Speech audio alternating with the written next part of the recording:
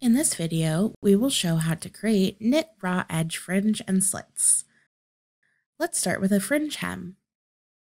First, we add internal lines where we'd like to add the cuts for the fringe hem. Use the pen tool to add an internal line.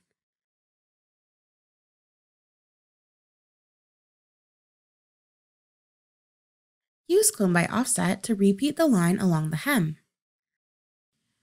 Choose where you want to measure from, set the spacing, and the number of copies. Marquee select all internal lines and use Slice. A pop-up will appear asking if you'd like to create slits. Click Yes. If any lines do not slice, be sure they overlap the edge prior to slicing. Click Update 3D to see the fringe edge. To complete the effect, we will add a rolled edge look. First, lower the grid of the piece to 0.3 to 0.5. Next, stitch either side of the fringe piece together.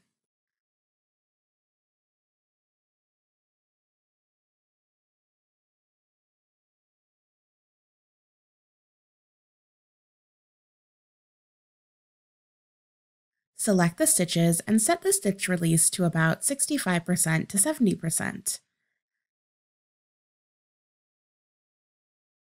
Update 3D to see the change.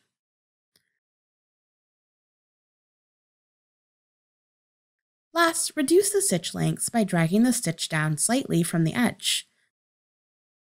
This will create a more natural look to the rolled raw edge and reduce any bunching.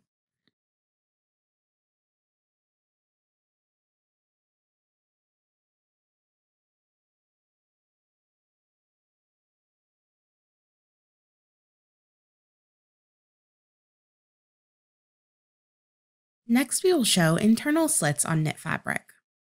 There are two options. The first is to slice an internal line. Draw internal lines where you'd like to slice. Selecting the line, choose Slice. A pop-up will appear asking if you'd like to apply the inner slit property. Click Yes. Update 3D to see the change. Now we have a slit in the fabric. Note, this can also be selected under line properties. This option may not be best for knits. This is because the internal line represents both edges of the slice, so we cannot stitch the edges together to get the same look as previously shown. Instead, let's create a hole. Use Insert Rectangle. Click inside the pattern where you'd like to add the hole.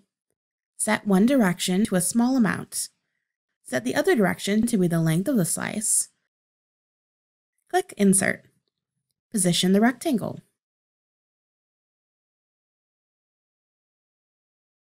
Use Clone by Offset to create additional rectangles.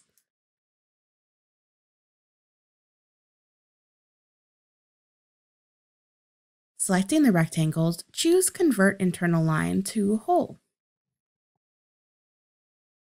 Update 3D to see the change.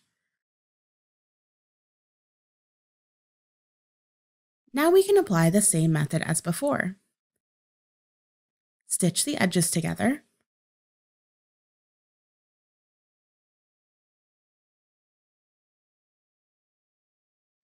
Set release stitch between 65 to 70%.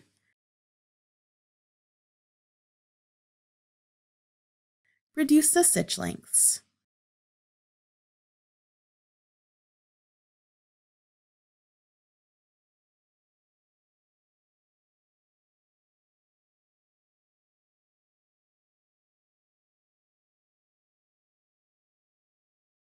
Update 3D to see the change.